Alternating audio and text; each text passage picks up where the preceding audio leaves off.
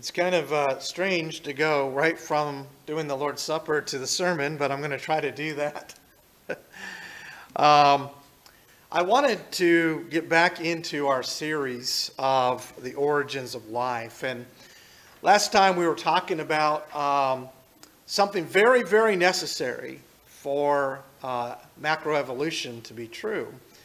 Uh, we were talking about some troubling mutations, and there are a few things we didn't get to that I want to cover, um, hopefully quickly, um, this morning.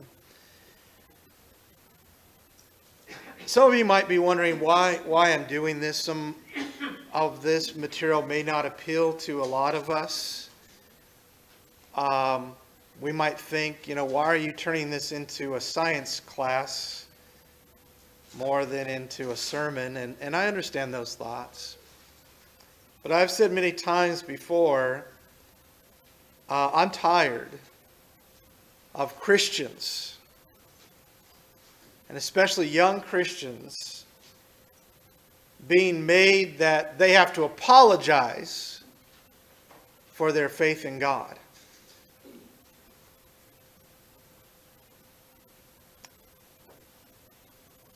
I have sat in college classrooms and been told that the Gospels of Matthew, Mark, Luke, and John are all just made up myths.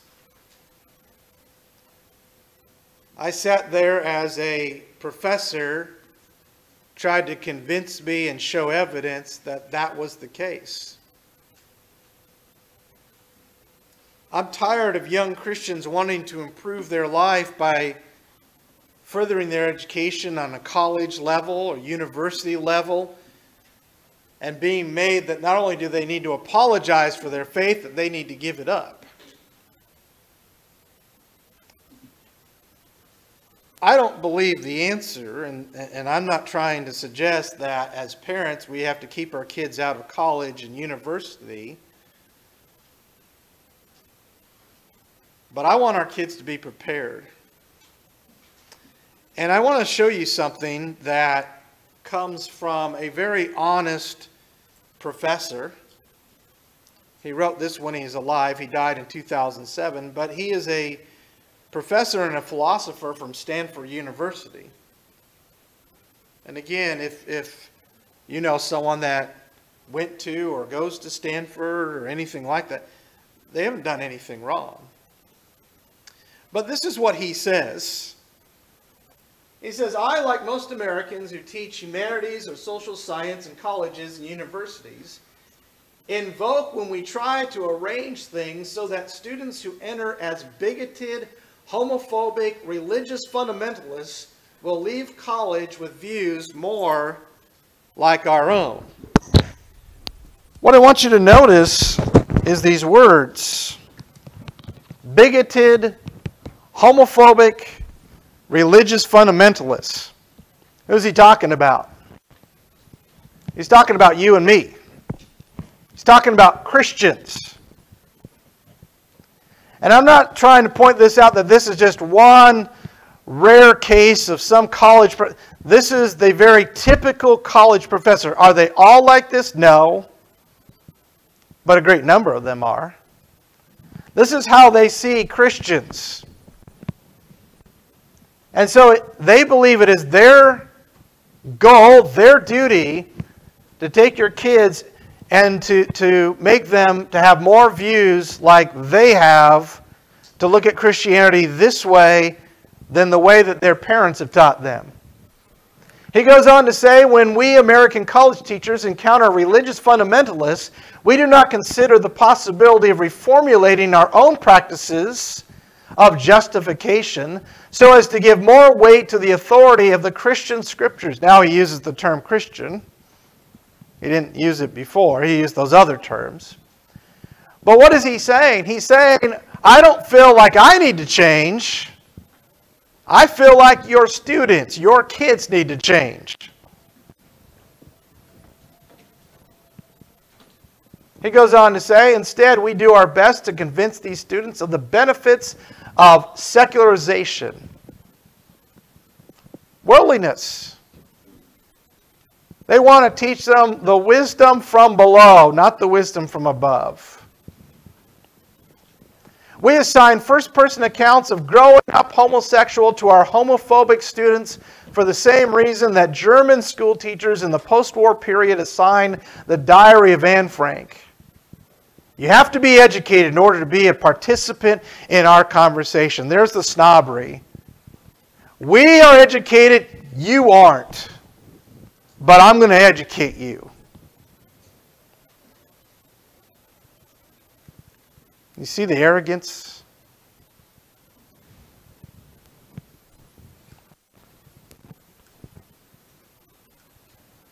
So we're going to go right on trying to discredit you in the eyes of your children. Trying to strip your fundamentalist religious community of dignity, trying to make your views seem silly rather than discussable. Boy, that, that's just great debate, isn't it? Well, in other words, we're going to call you names. Isn't that a great way to argue with people and prove your point?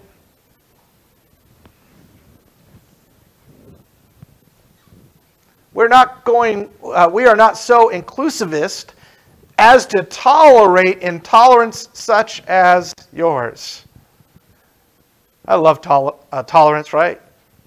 You have to tolerate me, but I don't have to tolerate you. We're tolerant people, but I'm not going to tolerate that. You see what he's saying? He goes on to say, I don't see anything, and look at that German word. I can't even pronounce that. Means domination free. I don't see anything domination free about my handling of my fundamental students. Rather, I think those students are lucky to find themselves under the benevolent domination of people like me and to escape the grip of their frightening, vicious, dangerous parents. Let that soak in. That's how they view you. That's how they view Christian parents. I am just as provincial and contextualist as the Nazi teachers who made their students read Der Stürmer. The only difference is that I serve a better cause. Well, that's open for debate. I'm not telling you that you can't send your kids to, to college or university. What I, I, I want you to do, I want you to, to have your eyes wide open. And if you think that you can have your kids and just kind of milk toast the Word of God to them and not study the Word of God and implant the importance of knowing why God is God and why we can believe in God. And that the Bible truly is the revelation of God.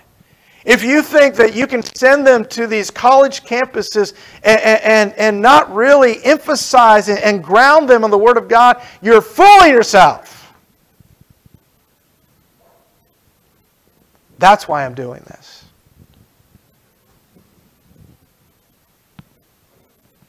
because I've had that experience. And I'm tired of, of, of, seeing good Christian young people go to college and then come out not believing in God at all.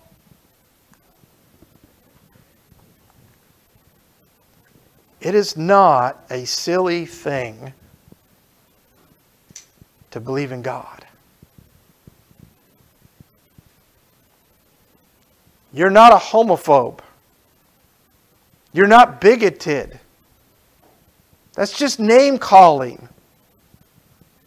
That's not, that's not the way you win arguments. That's not the way you debate your points. But there's a whole group of people in this world, and we need to make sure that we're not one of them, that have no idea how to stand up for their point and be a human being at the same time. Amen? I love this passage in Hebrews 3, verse 4. I'm going to use it again. For, the house, uh, for every house is built by someone, right? Even a radio shack, we can see someone built this. There's, there's a designer, there's someone that constructed this. But then when we look at things that are more complex than a house, when we look at genetics, DNA, when we look at, at, at life at the cell level, we see great complexity far more complexity and organization and orderliness than a house built by someone. But we're told we are foolish to believe that every builder or the builder of all things is God. It makes no sense. We've been deceived as a world, as a people.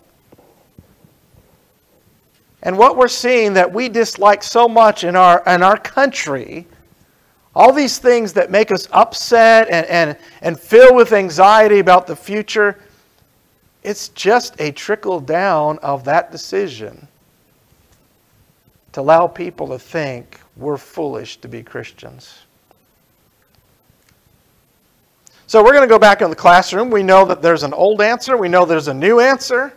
We know the new answer comes because we don't like the old answer.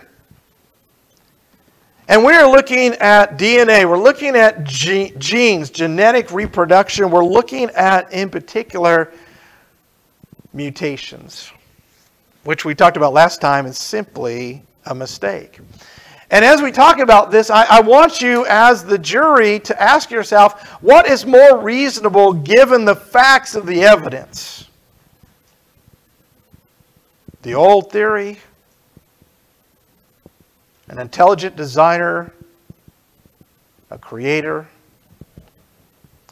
or by chance and circumstance, what we call evolution. You see, the thing about this, we always hear talk about evolution as, as chance and circumstance, but sometimes you're like, well, what is the chance and circumstance? What does that mean? Well, that's what we're talking about right here. That all this came about by chance and circumstance. That's what we're describing in this lesson. And so, what we have to be able to see, reasonably see, is how one organism can have all of this genetic action, these mutations that are changing the, the form of the body to where a fin can become a leg or a fishtail can become a lizard tail. In other words, there has to, to be proof, reasonable proof, that the genetic mutations can change enough in this animal so that one animal becomes another animal, one species becomes another.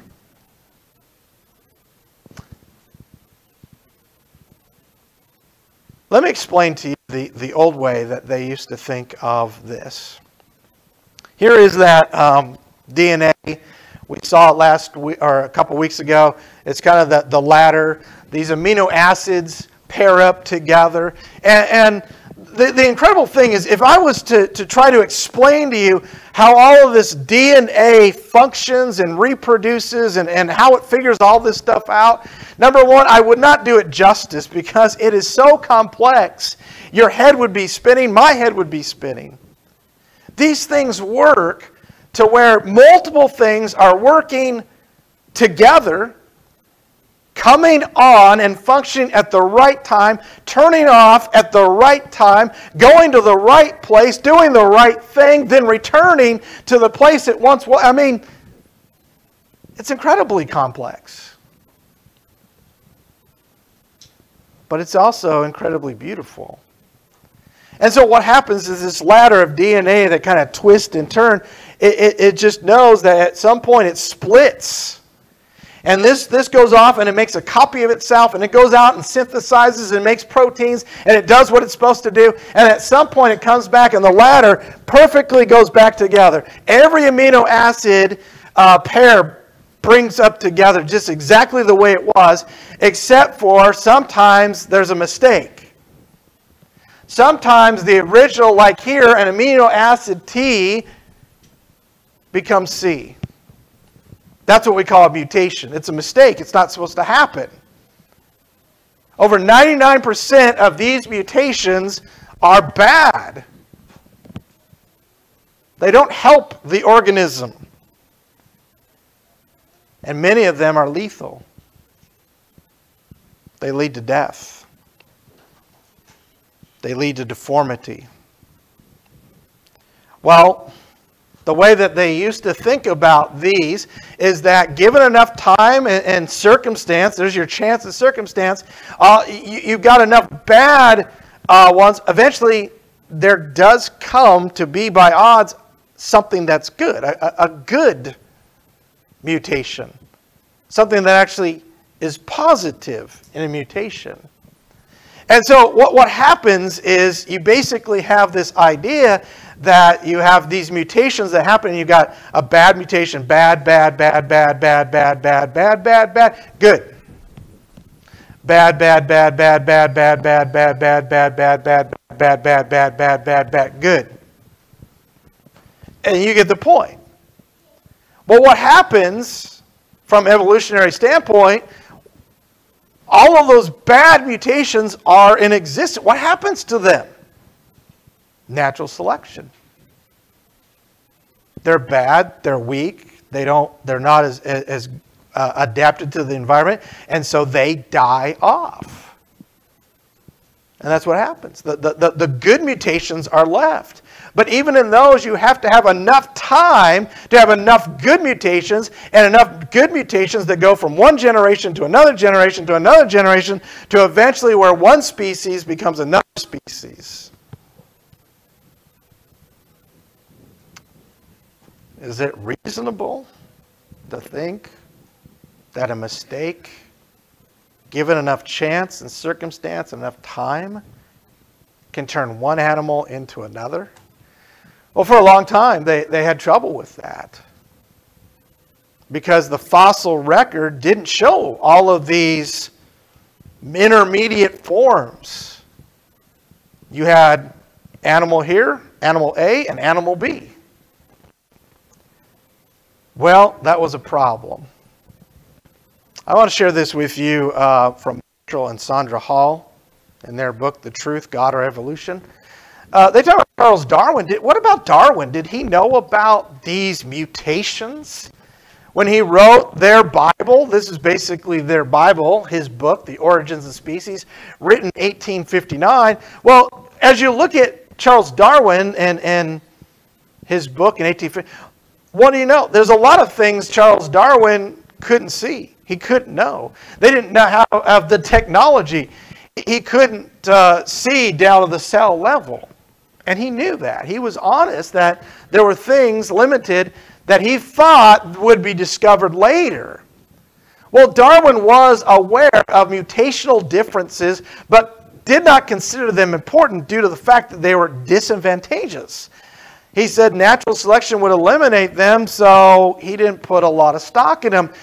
But as macroevolutionists used his theory and organized it into what we know as neo-Darwinism, uh, um, they put all sorts of stock in that.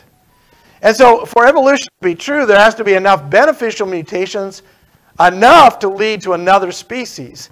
These mutations have to be passed on not only to one animal, one generation, but to the next generation. Natural selection has to eliminate the bad mutations. But here's the problem science hasn't proven any of this. It's not proven. And so, this slow evolution where, you know, slowly the fin turns into a leg and the tail turns into a lizard tail, uh, it gave them problems until they discovered Hox genes. Now, Hox genes is part of DNA. It's, it's part of that whole process we're talking about. But they discovered something. In fact, it, it was all the way down, uh, not too far from here, uh, at the University of California, San Diego. Biologists at the University of uh, California, San Diego have uncovered the first, now listen to this, have uncovered the first genetic evidence that explains how large scale alterations, a fin becomes a tail, to body parts, plans, he says plans, but kind of the idea, body plans, body parts, were accomplished during the early evolution of animals. Now, what he's referring to is certain experiment or experiments done. And what I want you to understand is the experiments are the fact that he's drawing from. But right here, when he says the first genetic evidence that explains how large scale alterations to body plans were accomplished during the early evolution of animals, what is that? It's theory, it's opinion. But he doesn't tell you that. He writes it as well, this is a fact. Here's what that evidence shows. And this is why I have a problem with this. We don't separate fact from theory. We move on. He says the achievement is a landmark in evolutionary biology, not only because it shows how new animal body plans could arise from a simple genetic mutation, but because it effectively answers a major criticism creationists had long leveled against evolution. What I just described. You don't see all of these evolved animals, right? You don't see these intermediate forms. They all show up all of a sudden in the fossil record. Animal A is there, animal B is there. How do we get from A to B? Well, they say it's the Hox gene. The absence of genetic mechanism that could permit animals to introduce radical new body design. So here's the problem they had. They didn't have that evidence.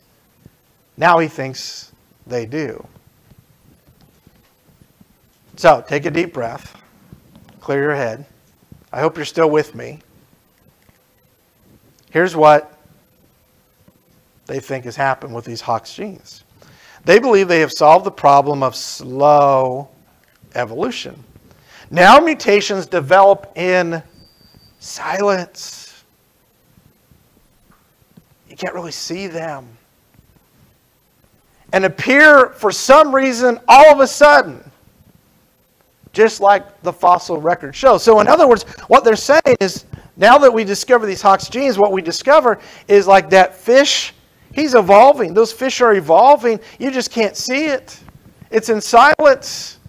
And then all of a sudden, something wakes up those mutations, and, and all of a sudden you can see them into this new creature. Now you see the lizard all of a sudden one day, just like the fossil record.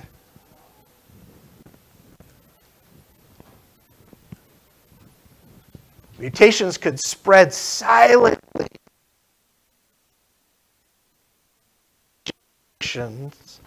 And almost suddenly mutated offspring that would be the birth of a species. What you're getting there is a whole lot of opinion from Jeffrey Schwartz. So one of the big experiments they did that, that's drawing all of these things was that they experimented on fruit flies.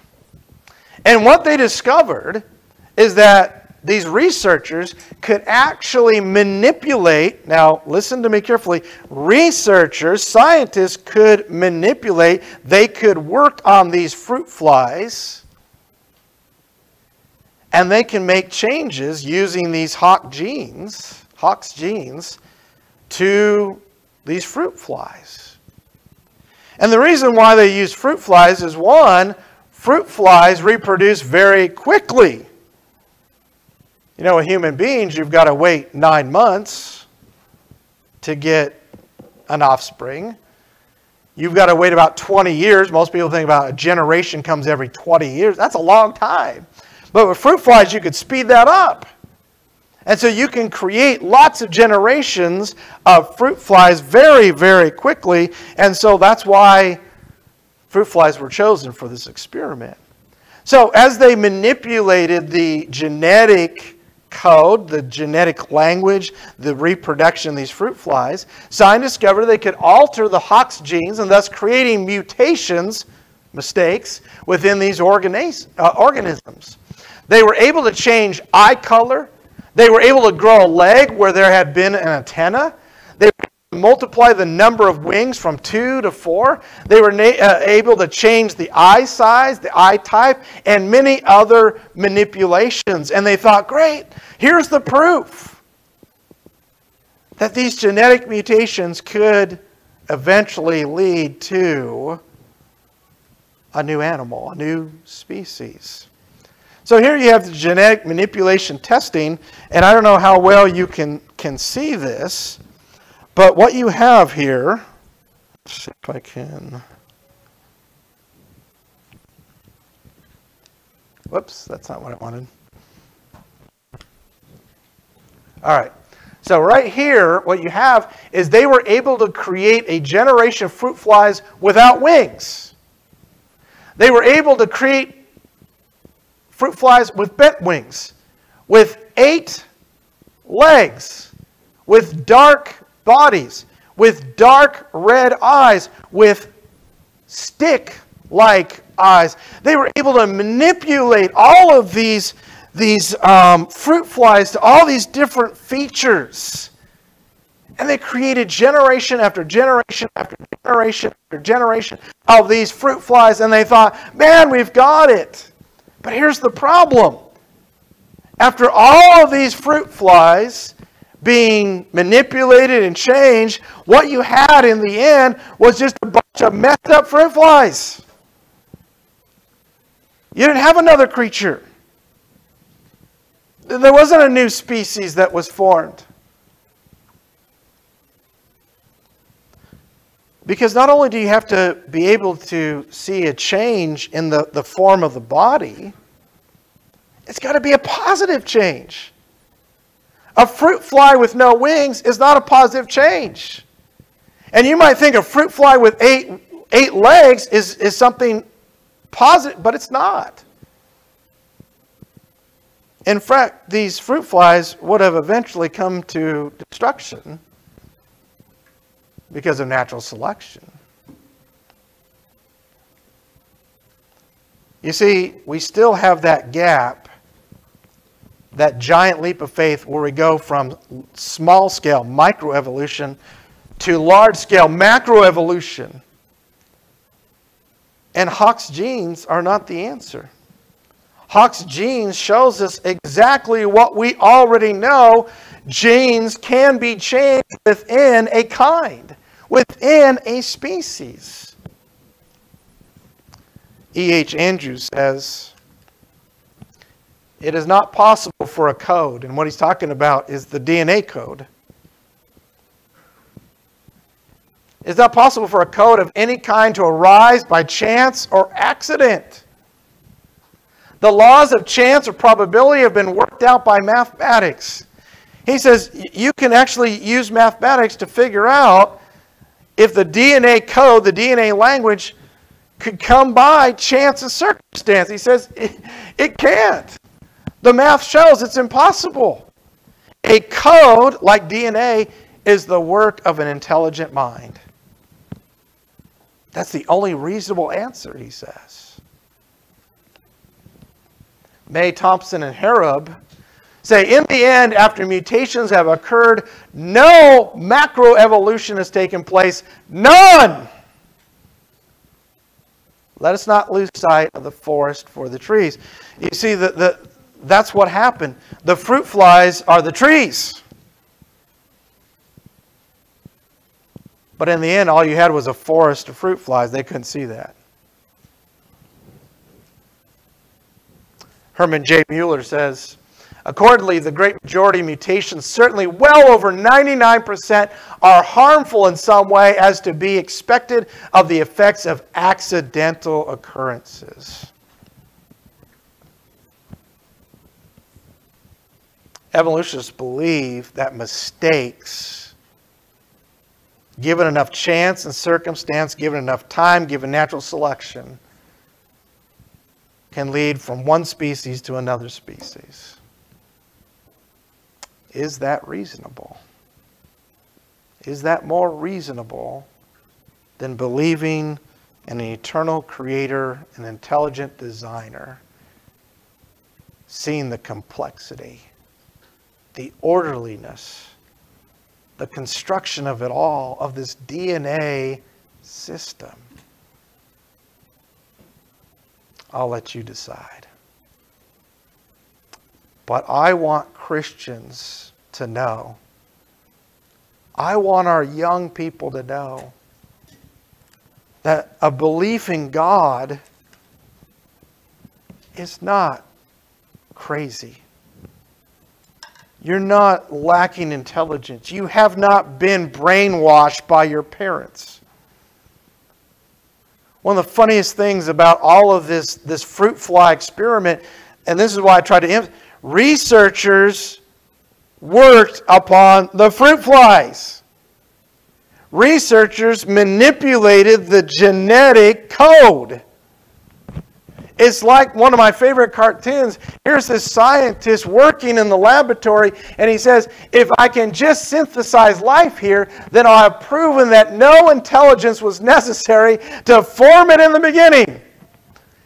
It's funny because he's saying he's not intelligent. It's funny because he doesn't recognize, even if he was able to do it, he's the intelligence working on it.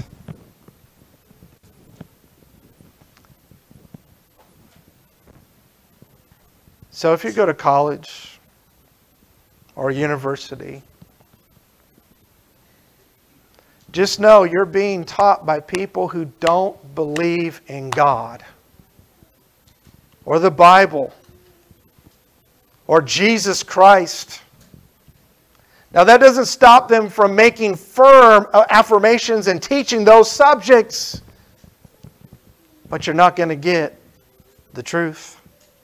You're not going to get what you hear here among your brethren because they're not willing to leave that door open. They're not even willing to crack that door one inch that Jesus could cast out demons by the power of God.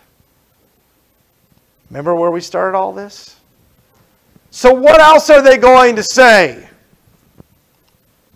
And when you don't have a very strong argument to begin with, most of the time what you end up with is name calling. A bunch of bigoted, homophobic fundamentalists. But Christians are none of those things. And I want you to understand that. I want you to understand that if you let the world convince you that God is not real and that His Word is not inspired, and that you allow the world to take you away from the, the great salvation of Jesus Christ, you're making the biggest mistake of your life. I want our young people to be baptized into Christ, but I want them to be baptized in Christ because it is their choice, not their parents. I want them to be baptized into Christ because they want a relationship with Jesus Christ. That they want Him to be their Savior. And I know you want the same thing. And so, if anyone is ready or whenever you're ready, let us know. And we'll make you into a child of God.